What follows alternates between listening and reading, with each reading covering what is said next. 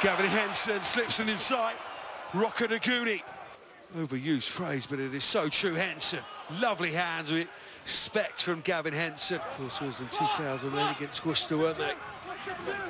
No silverware since then. Of course, we know about incredible history. As Laranjeira is wrapped up by Gavin Henson, and they held off the ground as well. So whistle goes here from the referee. Bath scrum. As it keeps moving, though, they will get, I'm sure they'll get the turnover, but as long as it keeps moving, it'll be advantage to Brive. There you go. Well played, Henson. Really well played. Looks And it's- right in the mood today, doesn't he, Gavin Henson? Sanchu. Fed up.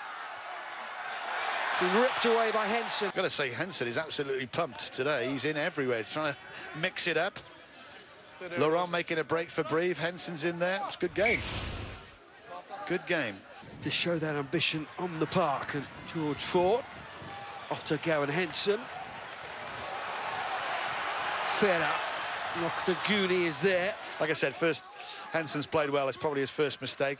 And now Bath have got a real foothold in this game. That's a great pass. Isn't it just? Try three to the back, three men. It could be try number four. Two for Agulla. Fully attacking up the blind side. Big blind side, that's great. That takes two people out. Sublime pass from Gavin Henson.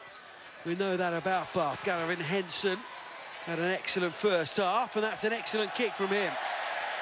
And I think his work rate and his uh, energy today has been first rate. So Gavin Henson is my Amlin man of the match. And especially in that first 40, he was exceptional, wasn't he, Gavin Henson?